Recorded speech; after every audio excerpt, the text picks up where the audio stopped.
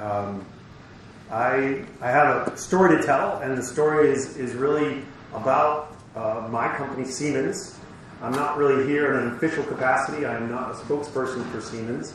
But I think there's an interesting story about one company's efforts to, to deliver uh, solutions uh, towards a sustainable future.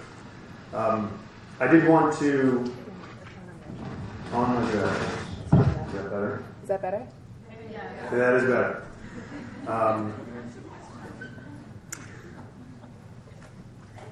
I got into this business purely by accident. Um, 25 years ago, as a student at Penn State uh, University, I, I only knew that I was interested in, in being in engineering. Um, I think I originally expected to, to be a civil engineer. It made a lot of sense to me. And, uh, and I went to, to Penn State as a freshman and planned on entering the civil engineering program. And, and there I found out that they had another program called architectural engineering, uh, which sounded also much better. And best yet, it was a five year major, so I could hide out one more year in college and enjoy myself. So I switched from civil to architectural engineering. And within that, there were a number of different opportunities. There was the civil engineering aspect with structures, and then there was project management, and then there was this other aspect, this environmental engineering, which had to do with designing the, the spaces, not the physical spaces, not the architectural part of a building, but the, the, the comfort and environment, the, the temperature, the uh, electrical distribution system. So it was the environmental design part.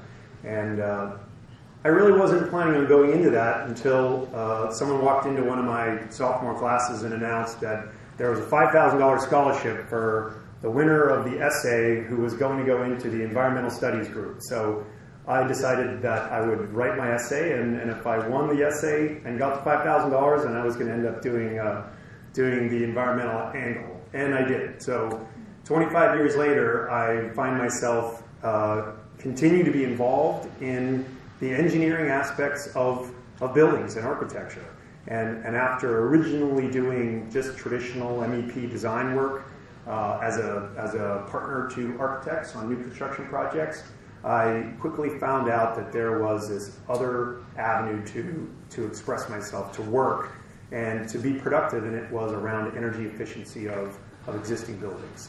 And so for the last 18 so years, I've essentially focused on delivering energy efficiency retrofits to buildings. And it's been very rewarding. Um, in the last 18 months, I've come to work here at Siemens, and uh, I've learned a lot about what uh, Siemens is trying to accomplish globally in context to sustainability. Uh, just a quick show of hands does, does everyone know who Siemens is? Still not good? Do you want me to turn it off and go to the other one? Yeah? All right.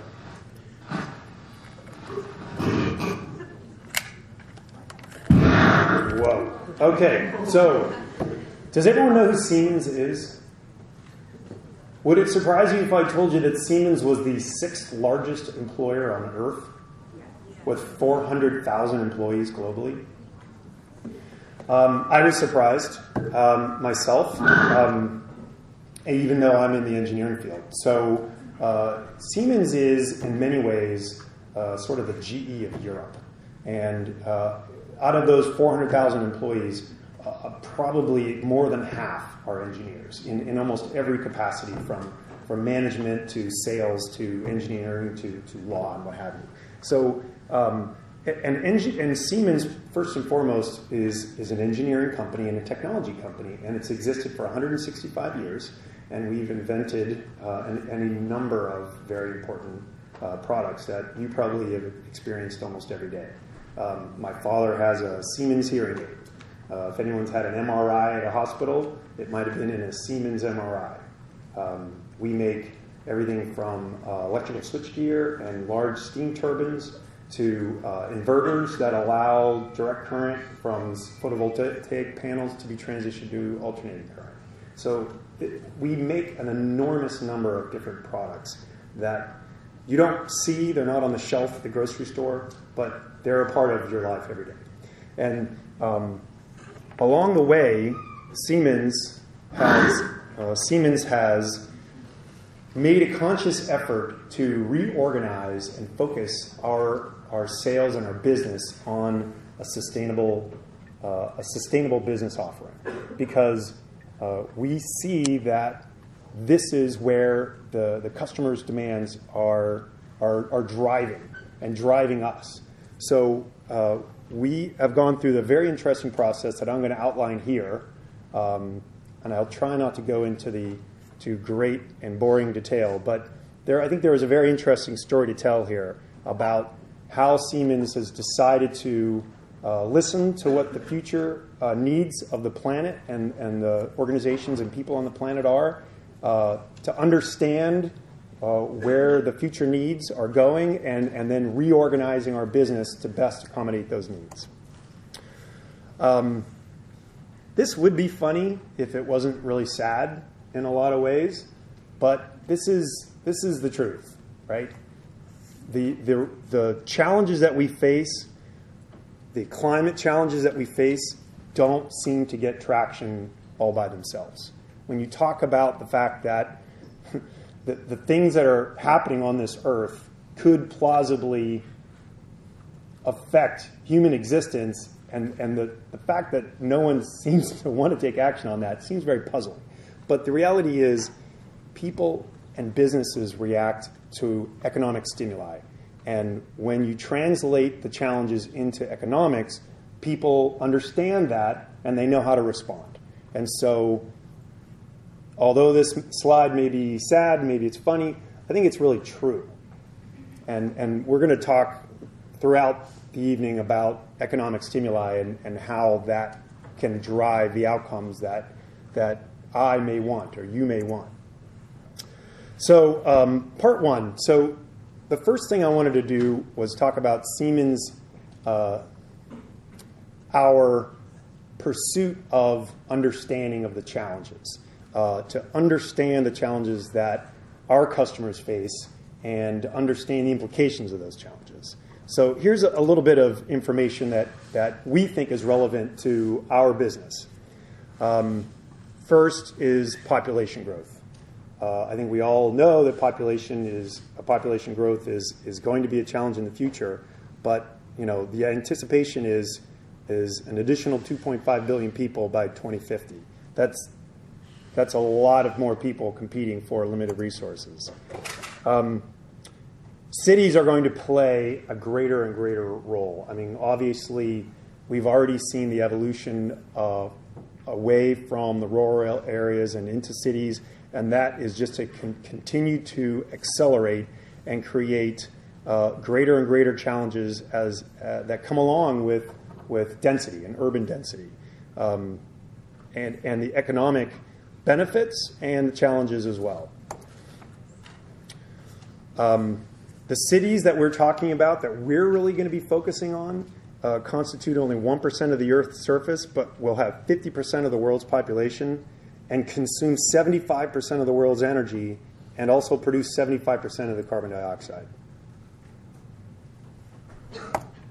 Um, we really see that there, there are three types of cities starting now, right? One is the developed cities, and we all know what those are. Um, and in those, there's, there's quality of life issues, there's, there's benefits of being a part of, a, of a, an, an elaborate and established city, and it is attractive for companies and industries to be a part of that simply because of the infrastructure. Uh, the challenges are there are sustainability challenges and, and as these cities, these established cities, the New Yorks, the LAs, the Chicagos, you know, they are getting older and older, and critical infrastructure of the city um, are really in need of replacement. Uh, and then we see megacities or uncontrolled growth cities um, that perhaps we see in countries, uh, developing countries like, like India and China, where there's almost uncontrolled growth. And uh, there's a, or there's a massive and rapid buildup of infrastructure, and there's incredible challenges around pollution and congestion. And you know, we've all seen the YouTube video of the, of the rush hour traffic in some random city in China where everyone's stuck for 72 straight hours in their, in their cars and trucks. And that, that is a challenge with cities that, that grow almost instantaneously. And then the future, the future cities where they're planned cities, and, and really Irvine is really a planned city, uh, where, where um, it, it wasn't just natural growth. It was, it was planned in advance by someone thinking uh, beforehand and allowing things to grow in a very structured manner. Uh, but these future cities, uh, even though they're going to be planned, they're going to continue to be challenged because of the limitations on natural resources, uh, specifically energy and water. So um, these cities that Siemens is focusing on, uh, this represents um, this represents um, 49% of the population today, uh, and it represents 51% of the GDP. And, and in the future, uh, not only will a, a, large portion of GDP come from these mega cities and these established cities, there's an anticipation that these middleweight cities, these emerging cities, will actually become to dominate and, and, have, and represent 40% of GDP worldwide. So tremendous economic drivers in these developing cities as well. So the challenges that these cities face, especially in, in uh, the United States, are can usually be boiled down to economic challenges, demographic challenges, and sustainability, sustainability challenges. Um, economic challenges uh, is something that we're all living through right now. You know, we've had a dramatic downturn in the economy over the last five to six years, and it's significantly impacted the ability of cities to deliver services to their to their citizens and just to remain solvent. Uh, here in Southern California, we've seen several cities actually go bankrupt, including the city of San Bernardino, for example. Um, very significant problems. Uh, demographic problems, uh, we're going to look at a slide here in a second on this. There's a tremendous amount of uh, po- population migration, not only from rural to urban, but also from north to south, right? The, the historical population centers of, of America where the, for the, the Northeast and the Rust Belt, and now you're seeing a tremendous amount of movement away from those uh, population centers and into places like Southern California and inland Southern California and uh, Arizona, for example, and we'll see that in a bit. Um, and this hasn't, the sustainability part hasn't quite come home to roost yet, but there's continuing to be pressure on on scarcity of natural resources. You're seeing a lot more uh, infighting uh, for resources between cities. For example, the Colorado River water is, is, is something that, you know, cities in Southern California and the cities in Arizona and Nevada, I mean, they're, everyone's fighting to get more, more, a greater part of that water than they're currently getting. And there's only so much to go around. Um, and again, as was previous slide pointed out, you know, these cities are responsible for 75% of greenhouse gas production worldwide.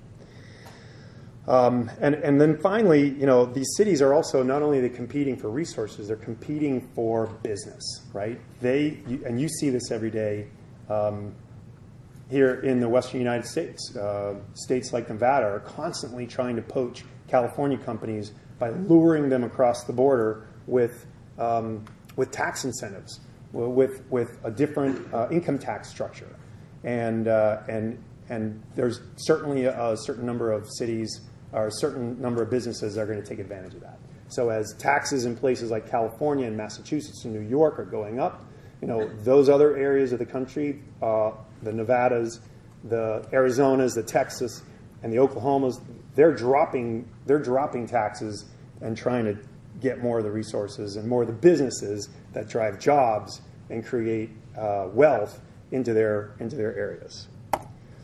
Um, we talked about this economic challenge.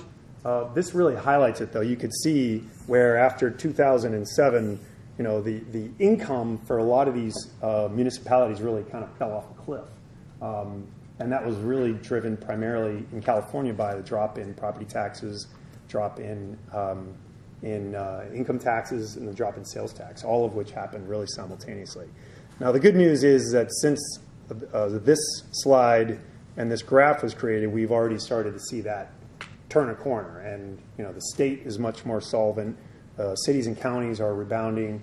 Uh, school districts, through things like um, um, Prop 39, uh, it's allowing it's allowing them to recover, and, and they're getting stronger. But they still have a tremendous amount of pressure um, to cut costs, to cut services, and to cut employees. So they have these these simultaneous pressures, and, and at the same time, um, people still want to have services delivered. Um, this is a great graph to highlight that demographic issue I was telling you about before. Just in a, just to simplify it, the, the the purple is is negative growth, and the and the green and the darkest green is positive growth. And you can see all of the areas, the, the rural areas of the uh, central United States in dark purple, and you can see the, the Rust Belt area up through Ohio and uh, the Great Lakes area, very purple, and uh, and a lot of green down in places like Florida, Texas, Arizona, Nevada, and, and inland Southern California. So um, the, these population migrations also create a lot of pressure for, for communities. So now that Siemens started out by doing this research on what the challenges are, now we, we started to invest money in doing detailed studies and doing studies to understand what our customers are specifically going to be motivated by. So we did this in, in uh, two ways with two different studies. And then we also um, started doing uh, uh, uh almost like um, uh, sustainability outreach. And one of the ways we did this was through a building that we built in London in preparation for the London Olympics. It's called the Crystal. I'll show you a few slides about that. And, and part of the responsibility of the Crystal is, is to really be an education center worldwide on the topics of sustainability. And, and I'm going to show a quick video called Future Life that was developed by the Crystal and is shown. Uh, and if you ever get a chance uh, to go, you, you should get the opportunity. So the first thing I'm going to talk about is the Siemens Green City Index. This is a study that we commissioned to um, to, to understand uh, and evaluate cities across, in this case, North America. We do the same thing in uh, Africa and Europe and Asia. So uh, this one particular study is about the U.S. and Canada. And basically, what we're doing here is we evaluated 27 cities. Uh, we collected data from public sources, and we basically uh, create a measurement that they can compare themselves on a number of, of um, a, a, number of areas to determine their overall sustainable uh, activity and their rank against each other. Um, so the areas that we we uh, we examined uh, was uh, carbon dioxide emissions and reduction strategies, energy and energy efficiency, land use, uh, the, the buildings and building codes, transportation, uh, water and availability of, of clean water, waste and the handling of waste, and then air quality in general, and then environmental guide, or excuse me, environmental governance. So um, all of those all of those categories were were scored, and then an overall score was given and then ranked. So the results were perhaps not too surprising, but um, some of the top performers were cities that you would expect to be at the top of the list. Cities like San Francisco, Vancouver, who are very well known as being uh, havens for uh, leaders of environmentalism and sustainability. Uh, you know, other cities that uh, maybe you're surprised to see would be New York. But you know, New York, because of its long history of being incredibly densely populated from you know the, from several hundred years ago, uh, it has a much more established transportation system that allows it to score extremely well in those other categories. Um, the cities that were underperforming, not surprising. There's a lot of Rust Belt cities there. My hometown of Pittsburgh is landed, you know, strongly at 23. A lot of pride there. Um, but also, uh, you know, and, and the interesting the interesting comparison is is when you compare uh, this graph to this chart, right? Try to remember that. I'm going to flip back. So, you know, a lot of the top performers are in those green areas. People are moving to places like San Francisco and Vancouver.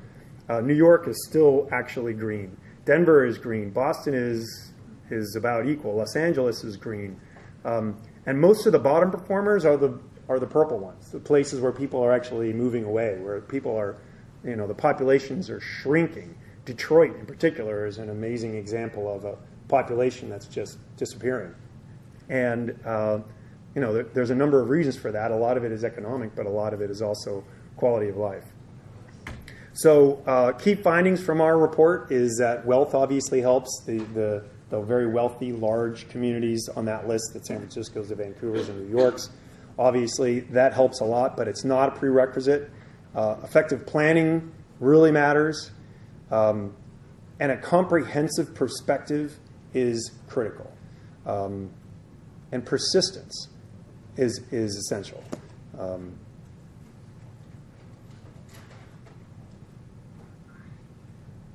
I think ultimately it comes down to a commitment to provide the citizens with the transportation needs that they really need to live their lives. And if you can, you can, you can, you can deliver the transportation that they need in a, in a, mass transportation that allows them to get out of the cars, I think that in and of itself goes a long way because a lot of the cities you see on that on that uh, top performing list are, are, cities with very strong public transportation systems. Um, other key findings. Um, it goes beyond physical characteristics. There are four very different cities on the top New York, Vancouver, Denver, and Los Angeles. Uh, wealthy cities on both coasts rank near the top, not surprising. And Canadian cities rank higher than expected based on income. Um, also, not too surprising in my mind, simply because you know you have a government that's much more hands-on and proactive than than uh, American-style governance. So. Um, this was one study that we commissioned. Again, what's the point of this? The point of this is, is that these cities are really our customers. And we want to know, um, not only do we want to know what issues are driving and affecting these customers, we also want to uh, encourage some of those cities on the bottom of the list to take action to move to the top. Even cities that did very well, like Los Angeles, Mayor Villaraigosa was extremely adamant that he wanted to see Los Angeles move up into that, that top position or two. So, you know, as as with anything, whether it's grades or a ranking like this, you know, competitive people want to want to win, right? So by giving a ranking, you're giving people motivation to want to take action. And of course, since we're one of the companies that provide the solutions, uh, we're hoping that drives drives action towards generating new business for us. So another study that we uh, commissioned, uh, in addition to the examination of of the cities, is, is we wanted to examine uh, corporate philosophies and corporate perspectives um, to understand what's driving uh, our, our, our, business partners to, to want to take action and, and move towards sustainable solutions as well. So we've actually done a reoccurring study every three years uh, that's really just a survey of, of chief executives from a number of, uh, of, of, businesses. And the results are, are interesting. Um, it generally it gauges the trends of sustainability uh, for some of the largest corporations in America. Um, again, this is the third time we've done it over a, over a seven year period. And uh, it's assessing how sustainability is practiced by, in corporation and what, really what's behind it. Um, and finally, uh, it's exploring uh, the evolution of this new role that we've seen in the last 10 years, which is uh, the role of a corporate sustainability officer. Um, I don't want to dwell on these too much. Uh, there is a access. You could ac- actually have access to this information, and I uh, gave Professor Matthew a document that he could share with you to go into this in greater detail. But you know what you're going to see throughout these slides is a, is a general movement from 2006 to 2012 um, of of more sustainable activity and, and practices. So, uh, uh, for example you know, the, the percentage of companies that responded with uh, sustainability officers, uh, we, we didn't even ask the question in 2006 because there were so few out there. And uh, 22% in 2009 responded that they, their companies did, in fact, have a chief sustainability officer. And, and in 2012, 32% did. So you're going to see that a lot over the next couple of slides. Um, the other thing we measured was, was uh, the stages of sustainability. Um, the earlier stages are basically non-existent. Sustainability doesn't exist as a part of the of the organization's behavior. Uh, stage two is is is really in its in its infancy. Um, green energy organization as as a minimally legally required. All right, And so these types of organizations that are in stage one and stage two are going to look at environmental initiatives as a cost, something that have to, a burden that they have to bear.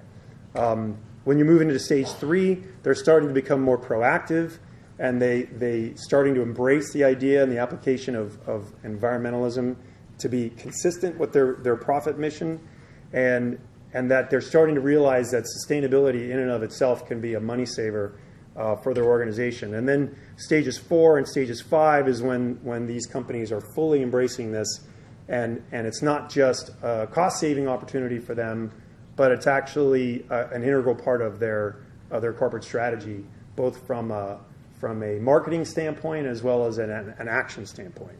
So uh, the next couple of slides are going to show the range of activities from stages one through five. Again, stage one is essentially it's not existent, and stage five being fully embraced uh, as a part of their core uh, corporate philosophy. So this is a pretty pretty telling slide. The, bl- the blue showing uh, much more in stages one and two, uh, and then very few in stages four and five. Um, the, the light green being 2009, showing a more even bell curve distribution, and then the dark green showing, uh, compared to the blue, obviously a much greater shift towards the stages four and the stages five, where, where companies are really embracing sustainability as a core part of their, of their business. Um, I don't want to I don't want to spend too much time on all of these, but some of these slides are, are worth noting. You know, th- this slide between 2009 and 2012, just highlighting the, the, the changes and activities uh, broken down between waste reduction and recycling, uh, employee engagement in green activities, renewable energy, uh, green buildings and portfolio through LEED or, or um, Energy Star. Um, and then at the bottom, uh, publishing annual sustainability reports. So you could see uh, a big difference between the 2000 and just the 2009 and the 2012, and, and this is something that is uh, not surprising but good good to see. So uh, this last slide here, uh, th- this is another slide talking about the the the emergence of a sustainability officer as being a part of uh, the leadership of these of these corporations and, uh, and how there's much more in, in, in, the advanced stages of these corporations. You're seeing a lot more activity in, uh, with chief sustainability officers. And a big difference if it's just a single person acting as a chief sustainability officer versus a chief sustainability officer with uh, an actual dedicated staff that can allows that person to really take action and, and, and drive results. Um, you know.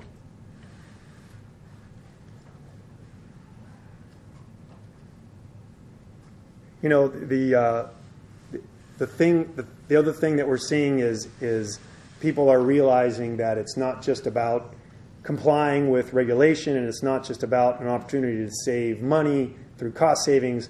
It's actually uh, a, a, marketing benefit. And, and as you, as consumers, uh, may are maybe more drawn to companies that tout themselves as being uh, environmental or environmentally active organizations, and people are seeing that there's it's an improvement of their company image, and therefore it helps drive actual direct sales.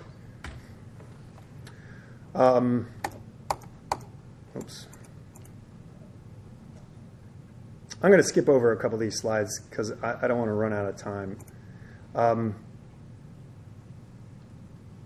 again, there's, there's uh, an incredible uh, buy-in to the point of 96% of all company surveys that agree that one of the drivers for corporate sustainability is the ability to reduce energy and costs and generate real savings to the company. So the fact that we've gotten to the point where almost 100% of all respondents will, will say that that is a clear driver for corporate sustainability is great. I mean, it seems like a no-brainer, but but 96% is, is, is a great number to see.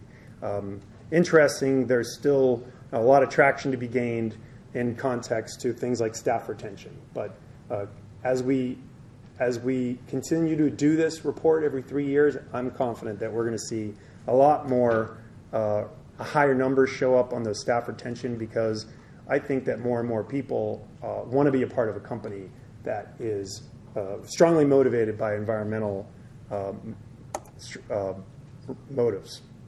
Um, so the key takeaway from these reports, again, there's a series of them, is that sustainability is becoming business as usual. Firms are expecting significant benefits, benefits from sustainability beyond, beyond financial, um, and then sustainability is increasing in its role in corporate financial plans. Um, this report is available. You could access it yourself at this website. And uh, I also gave a copy of the 2009 report to Professor Matthew. So now that we've seen that, um, I want to talk about one way in which Siemens is, is taking this information and we're actually showcasing it in a way that everyone can see. This is a picture of the crystal on the Thames. Um, the crystal is a sustainable cities initiative by Siemens. And again, it was built in partnership with the government of the City of London in, in advance of the London Olympics. Um, the audience is urban, design, uh, urban decision makers and infrastructure experts and the general public. It has office space. It's also an exhibit and conference facility. Uh, has 100 desks. It's 2,000 square meters of ex exhibition space, 270 seat auditorium. Um, and it really is a, a, conference center for sustainability for, for Siemens and for uh, London and the country of England in general. Um, it does meet the uh, outstanding classification from BREEAM and platinum uh, LEED certification. And the way in which we've accomplished that is through uh, eight categories of efforts. Uh, the first is uh, state-of-the-art building management. This is uh, an integral part of what Siemens does, building management systems or energy management systems, the intelligence behind operating the, the energy systems within a building. Um, item number two, we, we worked with the architect to uh, create extensive use of natural light, which we then can uh, reduce the amount of artificial lighting through uh, lighting control systems. Um, low energy mixed mode ventilation, meaning natural ventilation. Uh, the more we could do to, to design buildings that accommodate natural airflow, it just reduces the amount of energy needed to drive fans, for example. Um, it, is, it is an all electric building. Um, it includes rainwater harvesting and recycling. It includes black water recycling. Uh, it has an extremely efficient heating system, and it includes multifaceted and sustainable landscape. Um, you can find information on this at uh, www.thecrystal.org. Uh, and I encourage you to, to check it out online. And if you are in London, uh, please uh, drop by. It's someplace that's that's really quite fascinating. I'll be in London in, in a week or so, and I'm going to be dropping by uh, myself. I have yet to see it. Um, one of the other things that, that the crystal does is it's also, in many ways, Siemens' face for our, our vision for the future. And, and we've created a series of um, short movies uh, that look into some of the possible futures and I wanted to show uh, one of them to you now, uh, just to see what you think of it.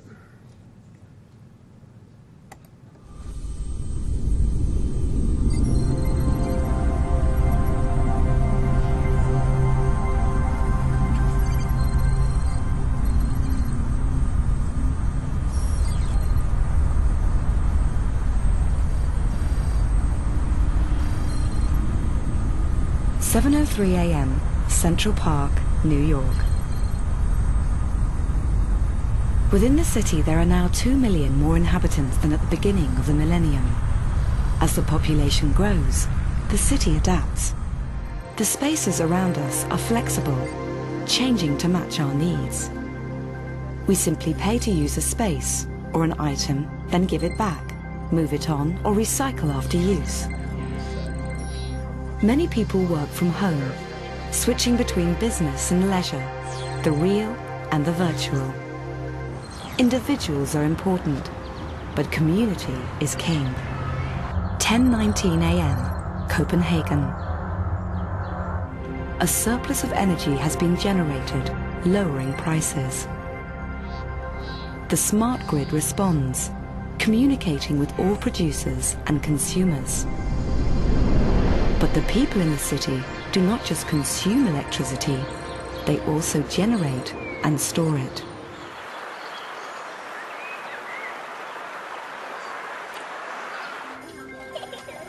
The smart grid directs drivers to buy energy off-peak when cost is low. The city makes energy miners and energy traders of us all. 2:21 p.m. downtown New York. Sensors throughout New York provide information essential to its running and to keep people safe. This city is aware. Real-time information flows into the city cockpit. All data is integrated and visualized, enabling the city to run more efficiently. Traffic lights and information systems are adapted to allow traffic to flow smoothly. Citizens have a direct connection to public services and can participate at every level. This is a city that responds to the needs of its population. 4 p.m., Copenhagen. Parks are the city's green lungs. Millions of trees line walkways and cycleways.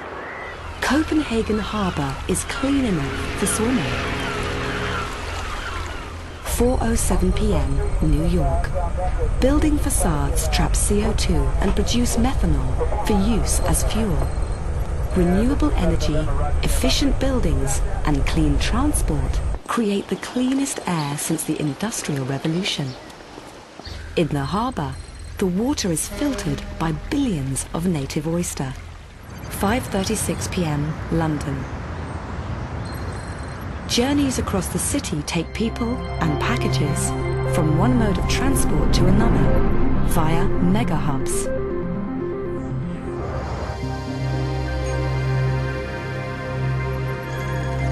When making plans to meet friends, your navigation assistant plans your route. The navigation assistant instantly reacts to outside events and changes your route. The journey is only two stops on the underground, and then it's just a short walk to the Crystal. 107 a.m., the city at night. The city restocks, recharges, and recycles. Jobs that can be done overnight are automatically activated. Our future city never sleeps. Its cycle continues.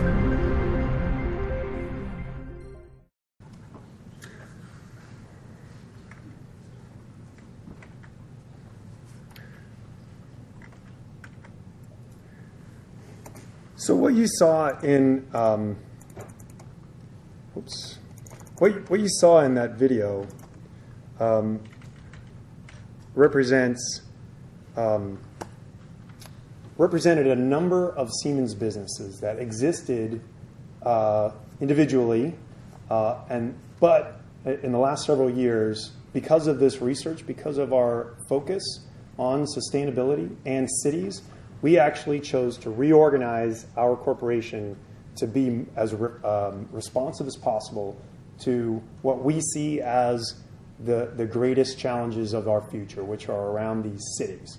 So we took a number of uh, individual standalone companies, and for those of you who have ever worked in a large corporation, you might understand what I'm talking about. But in a corporation as big as Siemens, sometimes you don't even know what the guy in the next office is even working on. And so, even though you imagine that there's an amazing amount of coordination between businesses, a lot of times it just doesn't happen. It has to be has to really be driven and, and almost forced to work. And that's what Siemens decided to do. We reorganized our businesses and we created a new sector that we called infrastructure in cities. And infrastructure in cities represents um, it creates the structure to capture the growth potential of these new cities, right? And it, and it included uh, included a lot of existing businesses such as mobility and logistics, uh, transportation, uh, building technology, smart grid application, uh, low and medium voltage, and, and it allows uh, us to represent all of these individual dis- disparate solutions as one common solution for these for these cities and for these customers.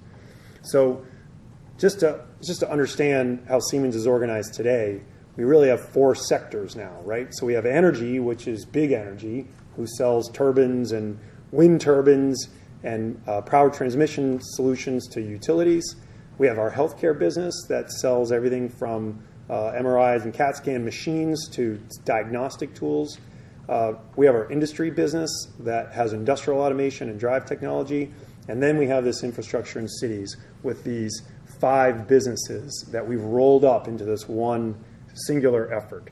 And, um, and all of this is really being driven by this, these mega, the mega trend of, of uh, city growth.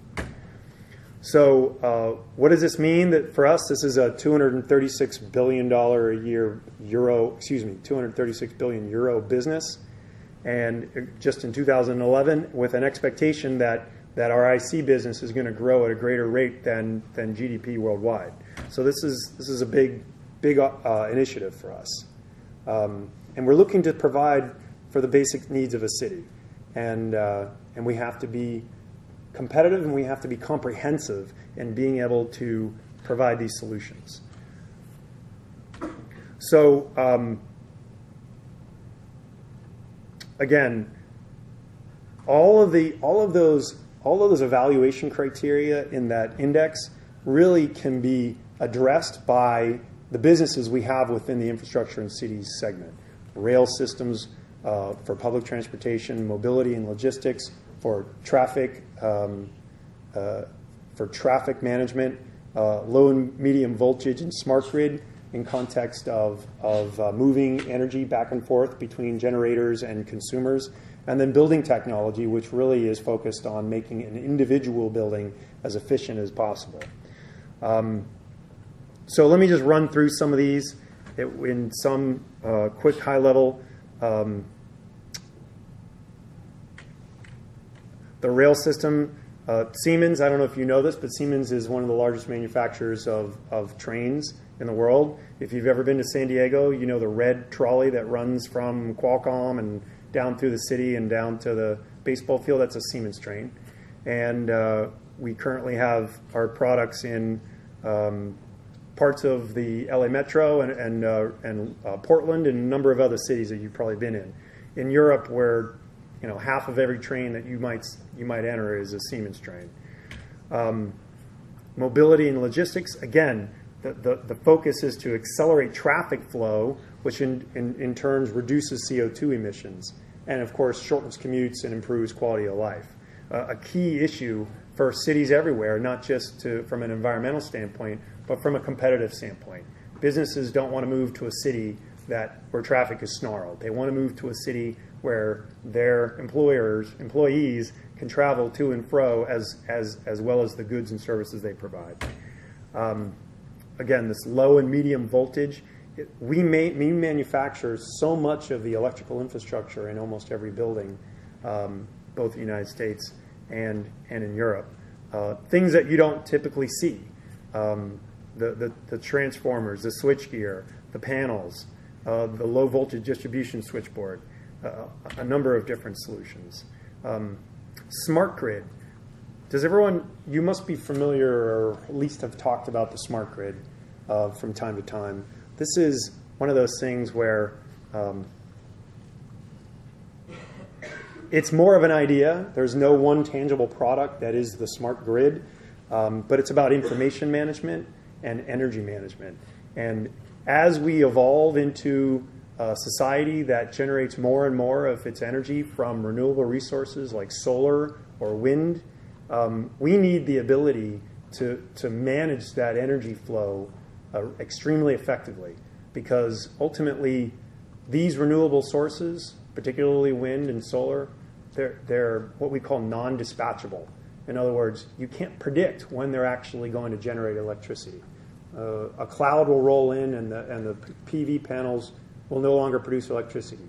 The wind will blow at 2 a.m. when the energy isn't needed, and then it's, there's no wind blowing at 2 p.m. when everyone needs additional electricity for their air conditioning systems. So the smart grid is critical as we move more and more towards, towards a renewable energy environment and a, and a um, decentralized power generation system. Uh, building technologies is actually the department that I work in within infrastructure and cities. And um, buildings uh, actually consume 40% of all energy worldwide. And so it's a tremendous place for us to focus our efforts to, to deliver energy efficiency. Because if we can have a substantial impact in, of reducing that energy consumption by even 20%, then we've, we've reduced overall energy consumption and therefore emissions by 8% worldwide. Um, the other thing that we're focusing on is the faster growing areas, for example, data center solutions. Uh, data centers have made amazing developments just in the last 10, 15 years. Uh, when I first was in the business uh, uh as a mechanical engineer, uh, I did a lot of work for banks and their data centers. And back in the early 90s, we used to keep data centers at 65 degrees, literally like a meat locker, because we all assumed that these computers and these these mainframes would operate much more effectively uh, and have much greater uptime at these low temperatures. Today, they're developing data centers that aren't even air conditioned. They simply are, are, using ventilation, and the temperatures in these data centers get up as high as, as 80 plus degrees. But the computers are, are perfectly able to function in this temperature.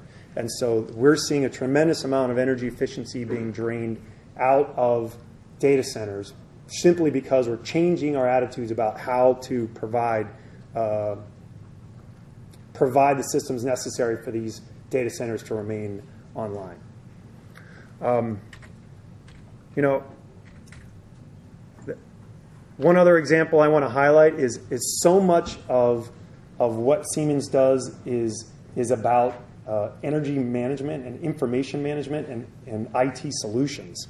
So uh, we, we're, we're, this example here is this vertical IT, uh, this growing market of, of vertical IT. And what does that mean? Well, it, it includes everything from, from our building technology information and our smart grid, but also to mobility and rail. And an example of this is um, we're using this, our IT solutions to help uh, expedite traffic flow in Tel Aviv. So we have a what's called a hot lane right? A dynamic lane that could be shifted from inbound and outbound based on traffic patterns. And we're actually using our computer system to manage both um, the, the switching of the lane from inbound to outbound as well as uh, tolling to change the behavior of, of the drivers on the road in order to uh, keep the traffic moving at its optimum speeds. Um, the other aspect of, of, of what Siemens is providing is, is these solutions are expensive, right? Whether we're talking about our healthcare solutions uh, with million dollar MRI and CAT scan machines to these smart grid solutions and uh, photovoltaic installations for municipalities. And so the way in which we can help facilitate these projects to happen is to, is to also provide financing. So within Siemens, we have Siemens Financial Solutions, and, and that simply means that we have an ability to, to give financial terms to customers to allow them to buy these, these expensive products and services. Um, you know, and obviously with 400,000 employees uh, headquartered in, in Munich, we, we have a, a tremendous global presence, uh, both in North America, Europe, Asia, South America, and Africa. Um, a couple of highlights uh, for us, uh, the work we've been doing in London, not only with the Crystal, um, but our work with uh, interurban mobility, automated video, video surveillance, uh, security is a big component of the solutions we're providing. And, and what we're finding is a lot of the, the same uh, computer systems that are used to manage the, the uh, energy systems of buildings can be the same computer systems to, to manage and control uh, security for these facilities as well. Uh, the hybrid buses and the transportation that we talked about, tolling systems, uh, to, to minimize and, and relieve congestion uh, and, uh, and, and smart grid. So we're doing work like that for London, especially as we pointed out in that first bullet point, we started doing a lot of work with London in advance of their Olympics. Um, Shanghai uh, with train, with their train systems and e-mobility. Um, and uh, you know, I wanted to talk a little bit about the smart grid some more, but I think we're coming up on time. So um, let me just cover a few of the things that are more close to home before I run out of time. Um, well, this is an interesting graph. So let me let me share this with you. So um, I don't know if you've seen this before, but this is really about um, market development.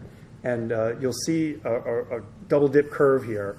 Um, the vertical axis is the, the visibility and adoption, and the horizontal is, is the hype, right?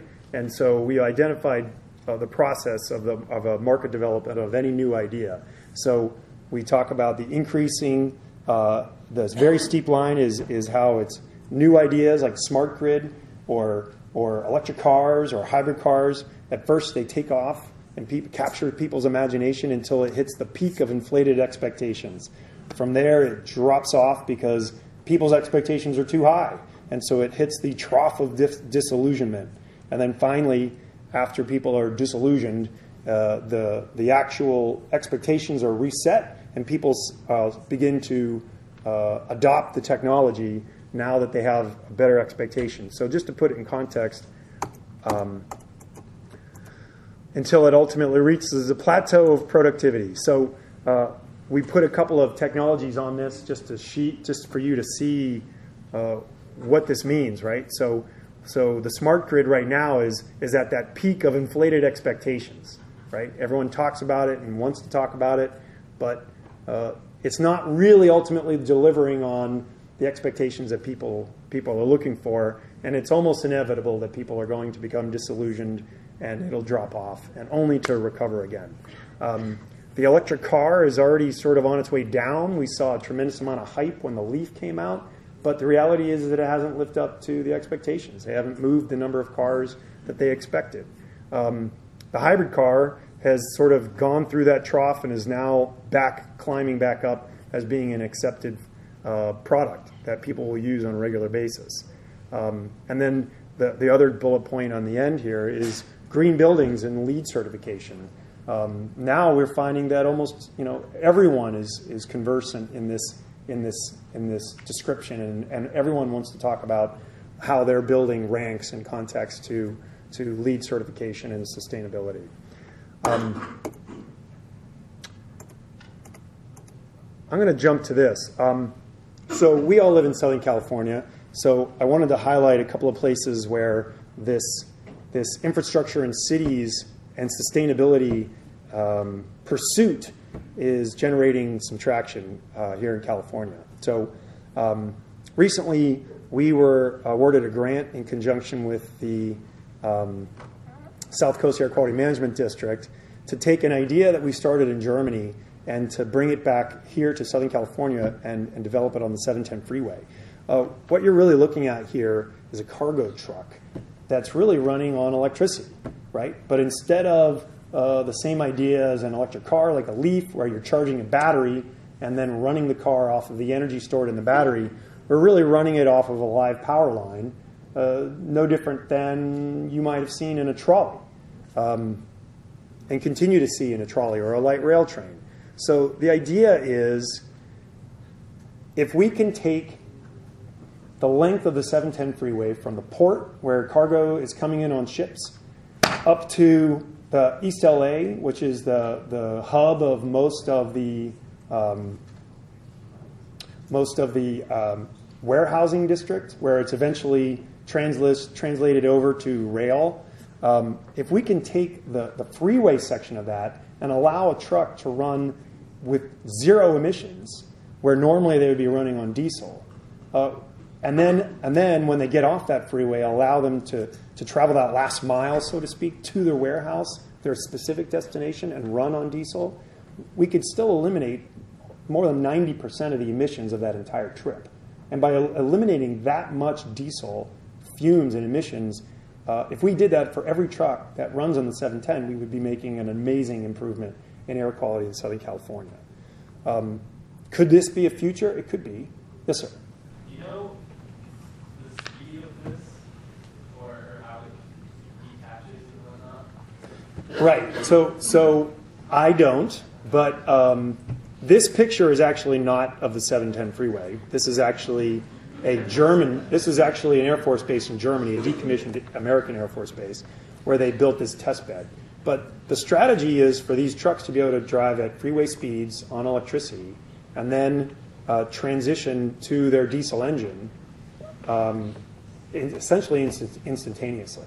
So this shouldn't change traffic speed or, or anything on the 710 freeway. What it will require, of course, is that the cargo truck has to drive in the lane that's under the, under the power line. So we'll eventually, if this were to take off, we would actually see a dedicated uh, truck lane, essentially. And, you know, where could this take us? I imagine a future where uh, that Nissan Leaf that only has a 100 mile range, right, on its battery, if it also had access, perhaps not an overhead power line, but perhaps a, a power source in the freeway itself, if we could drive an electric car that's driven real time off of electric power on a freeway, and then the battery is only needed, uh, used for surface streets, for example, now we could have a, uh, an electric car that might have an infinite range, or you could travel from Los Angeles to New York on a freeway uh, driven by a real live electric power, and, and only those, only that last mile on the surface streets is actually run off of your battery. And, and suddenly, a product that very few people want to buy in Southern California because of the limited range has an unlimited range. Is that, is that possible? It, it could be. But for now, this experiment is about eliminating the most significant pollution uh, generator in Southern California, which is diesel trucks. So um, here's some other places where we're delivering uh, solutions. Uh, here on campus, uh, we've done a project here at UCI. Uh, we partnered to deliver an accelerated project to, to upgrade lighting systems, um, DC controls, and HVAC equipment. Uh, this was several years ago, um, before I started working at Siemens. But you know, the project resulted in reducing 773,530 pounds of CO2 per year, and UCI, through our partnership, was able to receive a rebate uh, from the utilities and the CPUC of more than 2.1 million dollars. Um, and the project exceeded expectations, delivering a total annual savings of $1.24 million. These are the kinds of projects that we're partnering with, um, with universities on a regular basis. Uh, universities, colleges, K through 12 schools, um, people who have uh, a large quantity and large inventory of square footage of buildings with a lot of air conditioning and heating and lighting, and, and who also are looking, taking a long view, right? The, the corporate businesses, the for-profit businesses, you know, just like our business, we have a profit motive, and that drives us to behave in a certain way. But but the the, the municipal agencies and the, the state universities and not-for-profit organizations, you know, they have a sense of permanence and a sense of of uh, take a much longer perspective and are willing to do projects that have paybacks that are much longer than what a for-profit company would examine. Um, Another example of, of, the solutions we're providing is at the city of Anaheim. We are able to take uh, a substation that you see, the old substation in the bottom corner, which is obviously not something that anyone would want to live next to, and uh, replace that with an underground uh, substation and put a park on top. And, and suddenly, what was a horrible place to have to raise your kid next to, right, is suddenly a place that people want to live next to uh, because it's safe and green and, and an attractive place to allow your kids to play. Um, another example is, uh, you know, we've partnered with large cities like the city of Houston, and we've uh, saved the city over $5 million a year. Um, so, how are we going to help sustainability in the future? Well, we're a big part of the educational process. Uh, Siemens, because we're one of the largest employers of engineers on earth, we are very invested in encouraging people into the engineering field. So we donate a lot of money and create a lot of programs around uh, STEM programs um, because it's it's partially in our self-interest. Um, and, and they're fantastic programs. Um, we obviously are a, a, a big investor in, in, in, new innovation. This is a highlight of um, tidal power generation uh, that, that potentially could be a, a, a, new and significant power source in the future. Um, you know, there, it's not all good news, though. In the last week, there's been a couple of new pieces of information that that have come out that have certainly troubled me, and I'm sure you've you've seen them as well. Um, on May 8th, um, for the first time in recorded history, they, uh, since we started measuring this information, uh, we've surpassed the 400 uh, parts per million of CO2 in in the uh, in the atmosphere, and and that represents the, the highest levels of CO2 in more than three million years of Earth history, and uh, it in the time in which we last had 400 parts per million, the seas were 30 feet higher than they are today. And uh, I think you can all go back to the slide of the United States and the, and the population densities and realize what an impact 30 foot higher sea levels would make on these, these metropolitan areas. Um, and just the other day, uh, Newsweek, which of course is no longer printed but is available online, they issued a, uh, an article called Can Humans Survive? The Sixth math, Mass Extinction is Upon Us. Um, and really, what they're advocating in this article is that it's no longer good enough for us to just stop doing bad things. We actually have to start doing uh, proactively taking action, doing things to, to change the course that we're on. And uh, if you haven't read the article, I encourage you to, and they also refer to this book, uh, Scatter, Adapt, and Remember. Um, so is it too late? Uh, and does this mean everything has changed?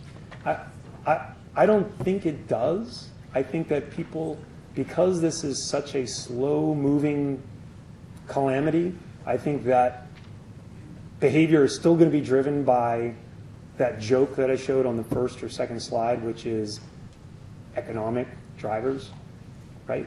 Um, I used to work at a regulated utility, and there was an old joke that the that the CEO of a regulated utility was going to commit suicide, so he jumped in front of a glacier. You probably don't find that as funny as I did, but um, but that's sort of what we're doing right now. We're kind of committing suicide by jumping in front of a glacier, and it moves so slow, no one. It's not enough of an emergency for anyone to take immediate action, but people will respond to economic stimuli, and there is a role to be played in every aspect of, of life to drive towards making this making these solutions happen right? At siemens my job is to get in front of customers and encourage them basically to separate their money from their wallet to do energy efficiency projects that yeah is going to save them a lot of money but it's also going to help save the planet because it's going to reduce energy emissions uh, uh, energy consumption and it's going to reduce emissions from power plants. Their motivation is going to be it's going to save them money but my motivation is I, I want to reduce the emissions and by working for siemens um, it allows me it gives me it affords me the opportunity to get in front of these clients make a compelling case and try to drive action so that's why I work at Siemens. That's why I do what I do. Uh, thanks for sticking with me throughout that presentation. And if we have enough time for questions, I'm happy to uh, answer.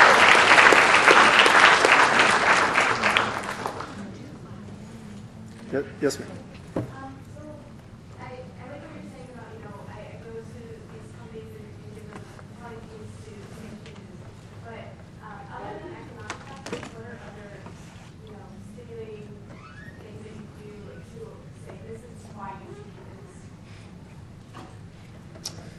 You know, everyone has their greater angels that you can appeal to.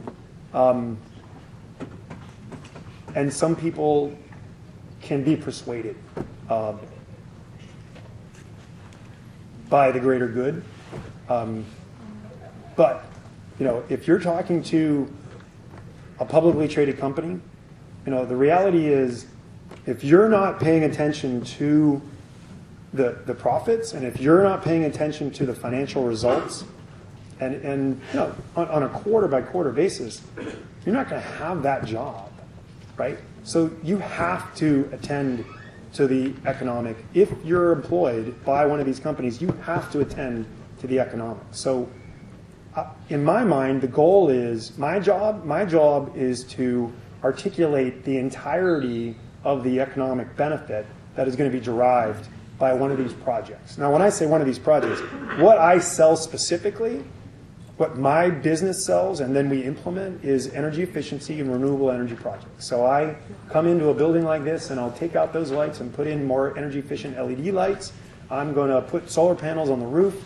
I'm going to change out the, the switch gear to make it more efficient so that instead of 90%, it'll be 93%, right? Efficient. So more of the energy is actually getting to the, to the systems. And a lot of it's not very sexy, and a lot of it's equipment behind a closet that no one even looks at or even wants to look at. Um, and so I have to, I have to, com- I have to make a compelling argument and make a compelling case about what the monetary benefit is. And some things are easy to quantify. Energy cost savings. Everyone gets an electric bill and they have to pay it, and they know it, so how much money it is, and they can rip it out and, and calculate. Well, I can save you 20% of that. But it's the other benefits that we that we have to work really hard to quantify.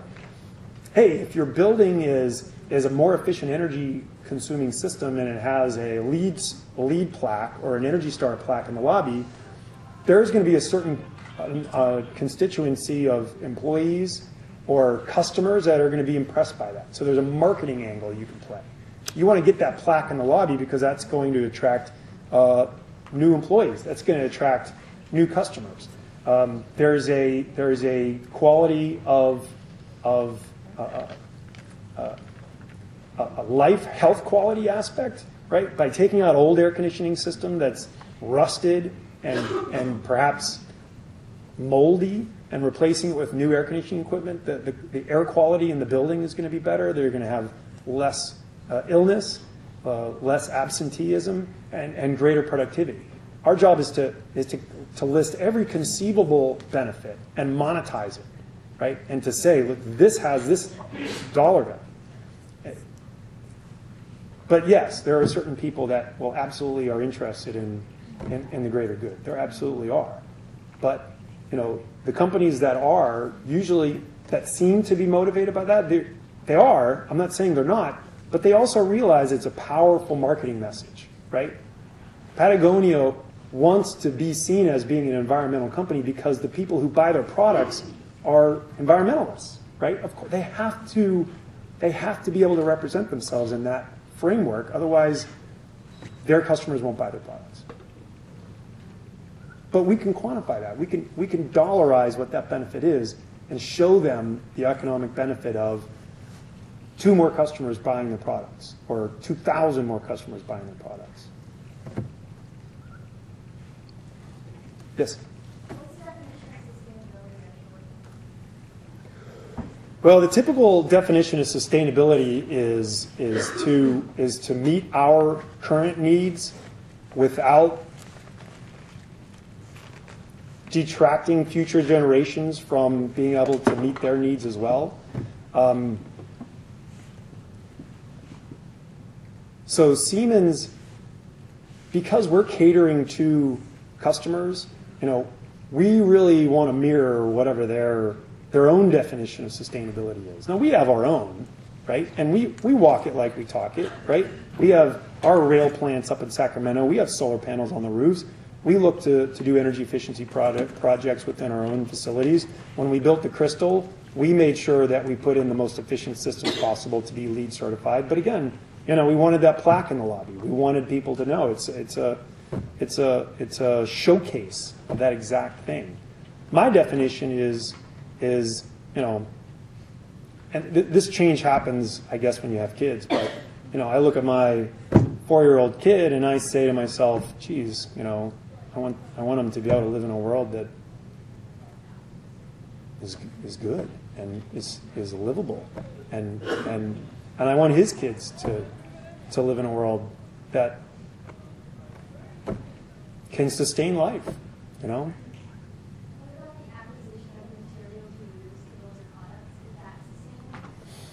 Well, that's a good question.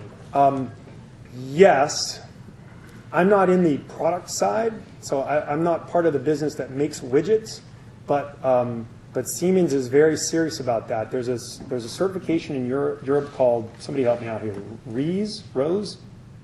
It's a manufacturing I should know that. um, it's, it's, a, it's a framework for, um, for, for green manufacturing, and yes, we comply with that because, it, again, it's important to us to demonstrate that we're not just talking about it in a sales pitch, but actually walking and living it every day. Like, when you say that it's you're trying to be sustainable, and is that, are you factoring in like the toll it takes on human life, or is just the toll it takes on the environment? You know, I, I am a part of a global organization, uh, but I am a, a local representative of that global organization. I, you know, I don't personally deal with with issues of life and death, right? I'm, I'm not. I'm, I'm dealing in Southern California. You know, life and death for me is whether you survive your commute on the 405 freeway. But you know, the rest of the world is is in a totally different situation, and Siemens are in those markets. We are. Um, I, I don't really know. I don't know what. I don't. I can't tell you what our position is on that. To be frank, I, I'm sure. I'm sure we have a very significant position. I just can't tell you what it is. But I think that has because, sorry. Not at all. Like, I feel like all you're doing is like energy efficiency, and that's all you're doing, that's, that's incredibly like hard work. But I feel like just that, just focusing on that is too little, too late, and working with sustainability without factoring in human life at this point in time is just like, we're just prolonging the obvious calamity that we're all facing. So when you mean human life, do you mean like like human life in terms of of countries that don't um, support human rights, like in Africa or parts of like how our global markets exploit the conditions of, you know, people who are, who need to get, who need to find a job and they're working in bad conditions, like finding or fixing that. So we're not really in those markets. We supply products to mines. So um, amongst other things, um, it's not really an issue for us directly. Everything we manufacture is, is basically high-tech manufacturing. Most of it is actually done in places like the United States and Germany. You know, we're not manufacturing in the third world, for example. Uh, but right, I mean, the, the, some of our customers, mines is a good example. I mean, we, we manufacture a tremendous amount of equipment that are used by mines. We're not the mine, but those products might be used in, in, in places where, you know. So we're kind of like a step removed from that. Um, you know, look, there are a million problems to deal with on Earth. Trust me, I and I appreciate that, um, and that's a significant one. I'm I'm not going to downplay that in any shape or form. You know, human rights, human dignity, and and you know, basic protection for citizens by their government are is critical, and it's perhaps one of the most important issues we could we could help solve. It's not the issue that I'm trying to help solve. I'm trying to help solve this other issue, right? Still, in my opinion, an extremely important one. Um, and I guess I'm hoping that somebody else is working on that. Yes, sir. Um, I'm not sure if we will be able to answer this question, but maybe there's a little better person to ask. But I'm going to the extreme relationship between advanced heat in Chicago and the psychological effect it has on its residents. Um, Chicago has the highest murder rates, especially from gun violence, and all of our cities in the United States. Um, I'm hoping to prove through my research that this rising heat is the main cause of violence in Chicago and somehow figure out a solution to reduce uh, pollution and Twin City and people in it. Um, I know that pollution is a great contributor to the increase in heat. Um, is known as some of the working city where a lot of manufacturing is done. Uh, I have two questions. Uh, where's, where does Chicago stand in terms of sustainability, uh, in comparison to other cities in the United States? Okay. And what was the second question? And my second question is, um, uh, how can, uh, manufacturers in Chicago or just in general become more sustainable and ultimately reduce CO2 emissions and pollution?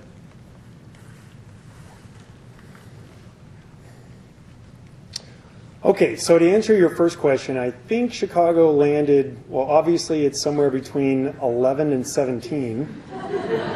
I was really expecting it to be on that list. Um, I, I know I gave you those that document. You could actually. Oh, yeah, let, me, let me answer that question. Um, mhm. And as speaking as someone who did an internship in Chicago in 1991 in a fifth floor of a five-story walk-up with no air conditioning, I can assure you that that the heat is real and it definitely is has the potential to drive people to a homicidal rage. Um, but you know, a, a, huge city like like Chicago, you know, it, it's it really becomes a heat island, right? So all of those buildings packed in next to each other are all rejecting heat from the air conditioning system to the outside environment, which is all paved, right? And there's just no place for the heat to go. So the, the, the heat in the city, yeah, it can be stifling. It really can be. And um, you know, the solution to that problem is is um, the solution to that problem is all the things that we're talking about: energy efficiency, reduction of of of car traffic, bus traffic, uh, diesel traffic.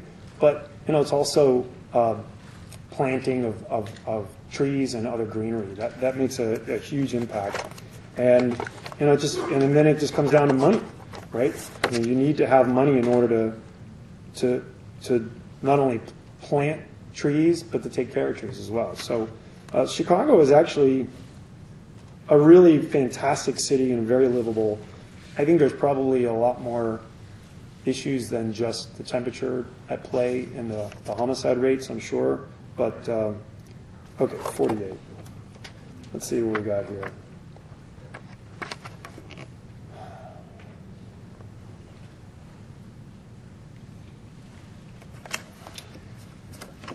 So Chicago ranked um, 19th in CO2, 8th, 18th, 8th in energy, 15th in land use, 14th in buildings, 6th in transportation, 12th in water, 14th in waste, 15th in air, and 12th in environmental governance, with an overall ranking of, well, I don't know. Let's see here.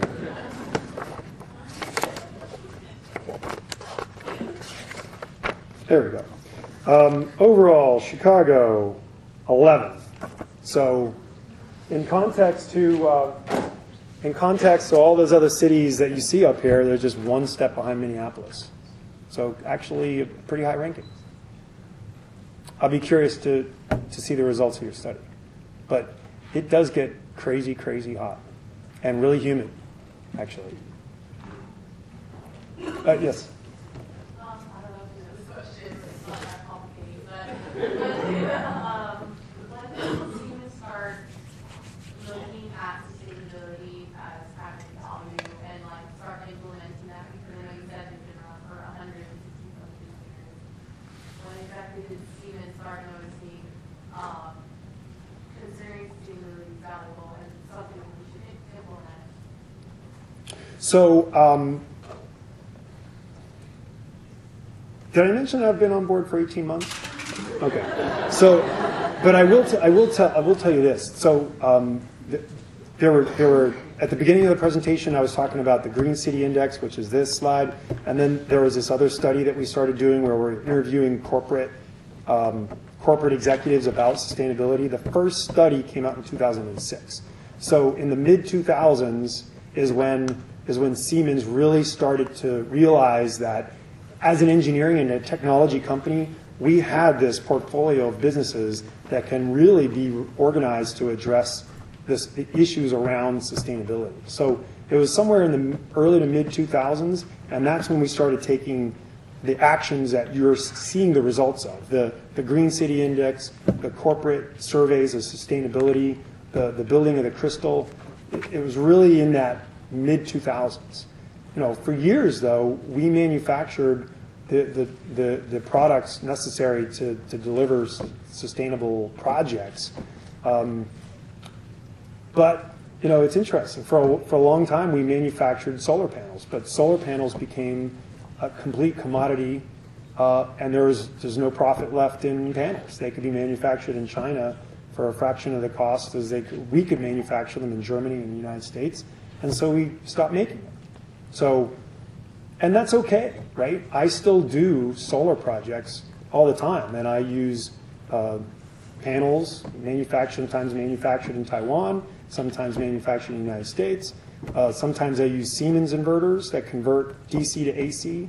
Um, sometimes I use someone else's inverters. So we're still delivering the projects. We're just not manufacturing the components that are commoditized and and have, you know, they, they've reached the maturity level of their project lifespan, if you will. Do you see your competitors looking at sustainability? like- Oh, absolutely. Yeah, absolutely. I mean, our competitors are very broad because we're such a very broad company. But you know, we compete against Johnson Controls and Honeywell. We compete against General Electric. We compete against Schneider. Um, we compete against ABB. Um, any number of corporations, and all of these companies have different various degrees of of, of sustainable focus. Uh, I think Siemens is the only one that's really focusing on on sustainable cities in particular. We've we've selected that as our our real mantra and our really to differentiate us uh, from our competitors. And and some of the slides that I was I felt like I needed to skip over in order to get to this conversation part. You know, it's not just that we organized the business around this. We created new positions with city account managers uh, across the world that whose responsibility is to connect with the leaders of these large cities. There's one here in Los Angeles, who, someone who worked in in the city government himself for several years, and his job is to connect Siemens uh, infrastructure and cities businesses with with the city of Los Angeles, with the city of San Diego, with the cities of Riverside, and, and et cetera, et cetera, to, to highlight how we can deliver solutions across a broad range of challenges.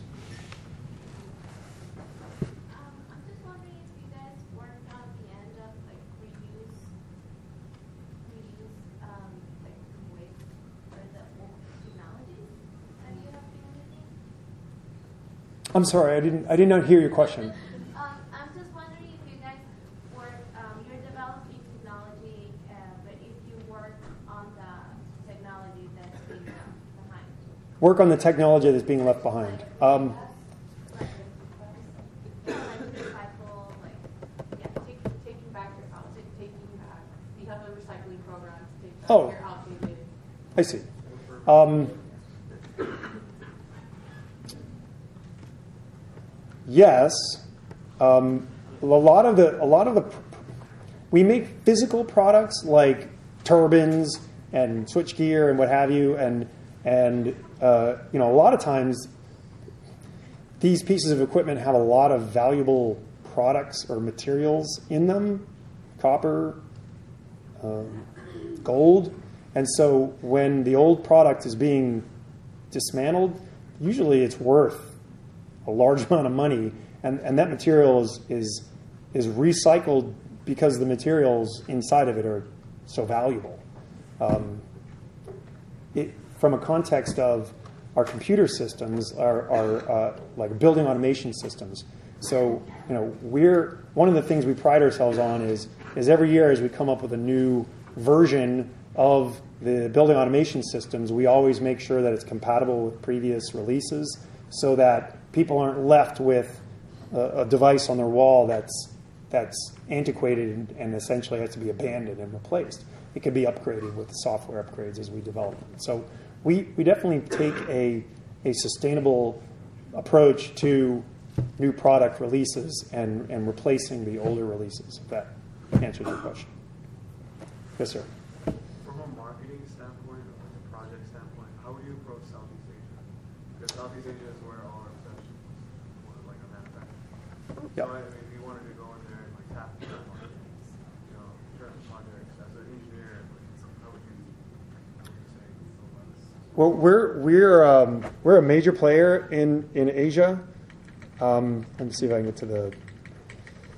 Uh, da-da-da-da.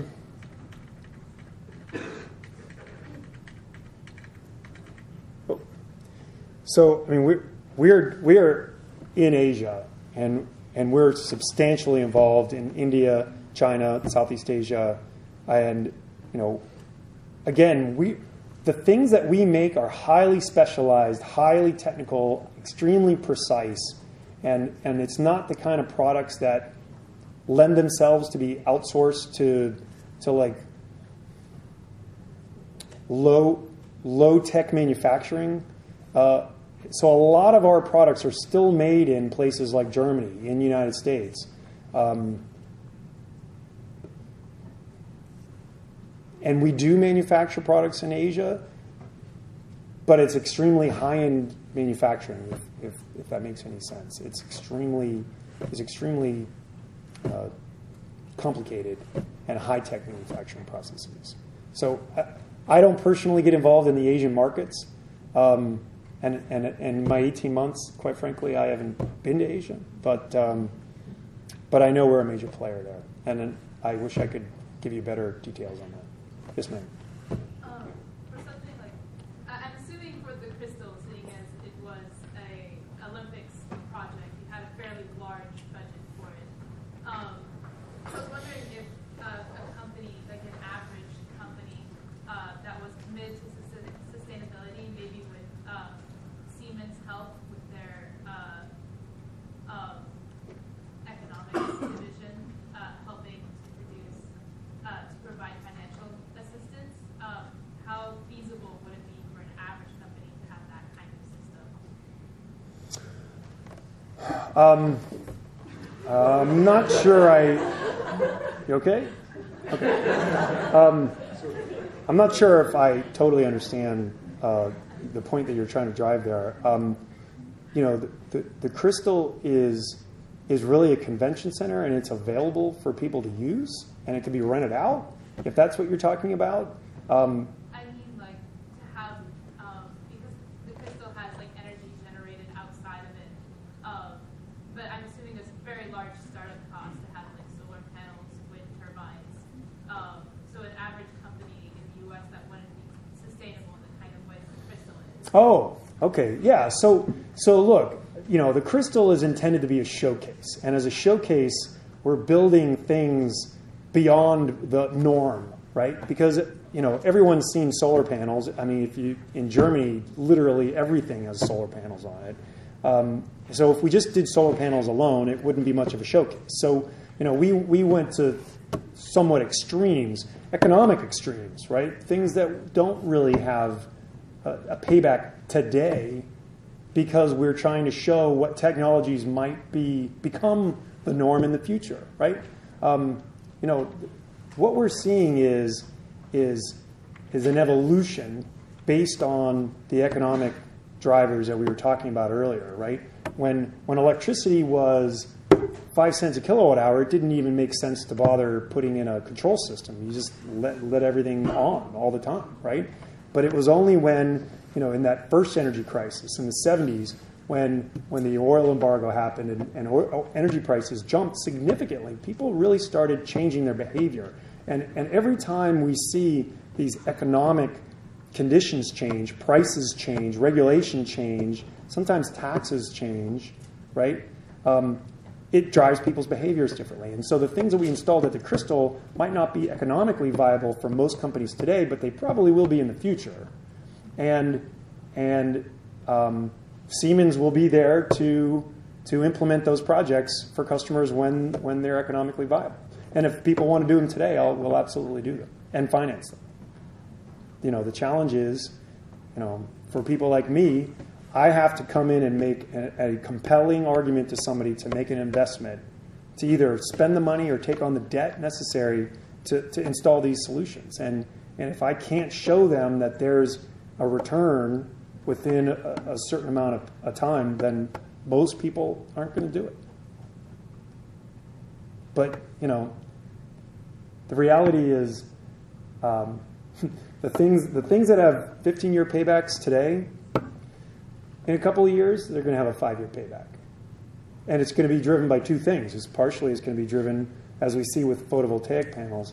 Cost of a panel has gone from $2 a watt down to 65 cents a watt, right? And simultaneously, the price of energy has gone from 10 cents to 15 cents to 20 cents. And uh, it's when you get that, those two dynamics is when things become economically viable very quickly. And then just to just to add on top of that, things like um, AB 32 in California, which is sort of off to a slow start, but the idea of of a cap and trade on on CO2 emissions, where you're penalizing or taxing people based on on pollution, that's going to be a part of that economic calculus that that drives their return on investments higher, there's paybacks lower, and you're going to see more and more of these projects that were just you know seen in places like the Crystal, Crystal or the Energy Resource Center in Downey or or or, or the showcases at CTAC for for Southern California Edison. You're going to see a lot more of those projects installed because they're going to be economically viable. Any other questions? I really appreciate the opportunity. Thank you very much, and um, good luck with your journey.